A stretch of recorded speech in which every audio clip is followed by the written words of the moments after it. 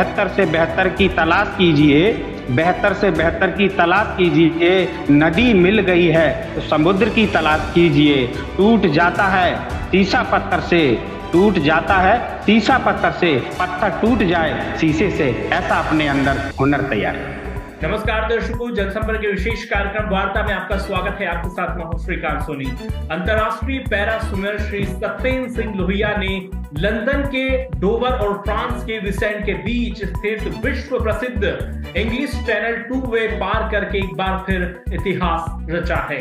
जी हाँ सत्तर किलोमीटर तैराकी करके उन्होंने इकतीस घंटे उनतीस मिनट में लंदन के डोवर में आकर इसे पूरा किया है। हम सत्येंद्र सिंह लोहिया से बातचीत करेंगे और उनसे जानेंगे कि कितना ये चुनौतीपूर्ण था और किस तरह से उन्होंने इसे पार करके मध्य प्रदेश का नाम देश ही नहीं, अंतरराष्ट्रीय स्तर पर रोशन किया है। हमारे साथ लंदन से जुड़े हैं श्री सत्येंद्र सिंह लोहिया। बहुत बहुत स्वागत है सत्येंद्र जी, आपका जनसंपर्क के विशेष कार्यक्रम वार्ता में।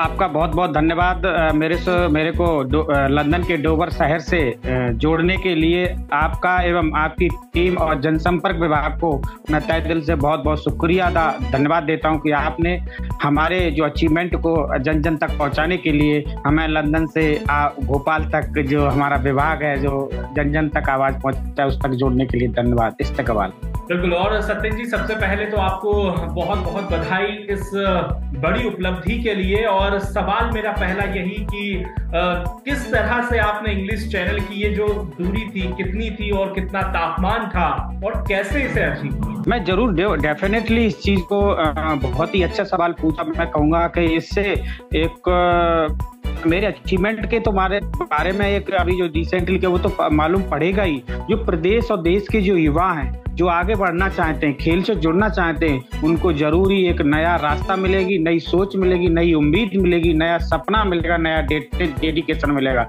तो इसके लिए वैसे पहले के लिए मैं थोड़ा सा पिछला बताना चाहता हूँ पिछले। मैं 24 जून 2018 को भी इंग्लिश चैनल अपनी टीम के माध्यम से किया था। बट हमारे दिमाग में एक ही चलता था कि इंडिया ने के किसी भी तैराकों ने अभी तक टू वे नहीं किया है। तो हमने ये प्लान एक साल पहले से सारी चीज़ें कर रखी थी बोर्ड बुक करना होता है एसोसिएशन को एक साल बहुत लंबा प्रोसेस होता है इसका, बहुत ही लंबा। एक साल का प्रोसेस उसके बाद आज फाइनल डेट हमारा 18 तारीख को हमने अपनी टीम के माध्यम से रात को यूके टाइम के अनुसार तीन बज के सत्रह मिनट पर यह तैराकी शुरुआत की एक बजे स्टार्टिंग होने का था बट कुछ ड्यूटी कंडीशंस बदलती रहती हैं। कब मौसम धूप हो जाए, कब यहाँ पर ठंड पड़ने लगी, हवा चलने लगे, लहरें तेज आने लगे तो स्विमिंग पायलट अवॉर्ड कर देते स्विमिंग वो नहीं करा सकते।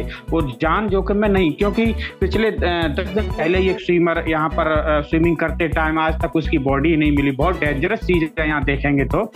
तो चीज़ें फिर हमने तीन बज के सत्रह मिनट अपनी टीम के माध्यम से तैराकी स्टार्ट की, और उसी दिन हम शाम को सात बजे वन वे हमने कर लिया था।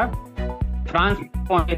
फ्रांस से फिर हमने रात को तैराकी, पूरी रात अपनी टीम के माध्यम से तैराकी की और सुबह यूके टाइम के अनुसार दस बज के छियालीस मिनट पर ये अचीवमेंट किया ये अचीवमेंट मेरा ही नहीं, उन युवाओं का है, उन उन व्यक्तियों के लिए एक आशा है, जो निराशा में हार जाते हैं, जो उम्मीद उम्मीद नहीं रखते, कुछ कमी होते हुए भी अपने आप को कमज़ोर समझते हैं, ये उनको संबल देगा, आगे बढ़ने की एक सीख देगा, ये अचीवमेंट उनके लिए एक प्रेरणा का कार्य करेगा।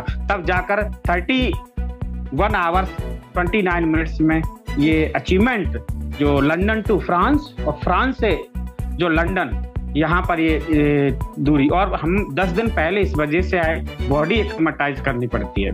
काफ़ी ठंडी होती है लहरें आती हैं और रात को स्विमिंग करनी पड़ती है एक अकेला और साथ में टीम हो और कितना डेंजरस चीज़ है यू नो सभी समझ सकते हैं।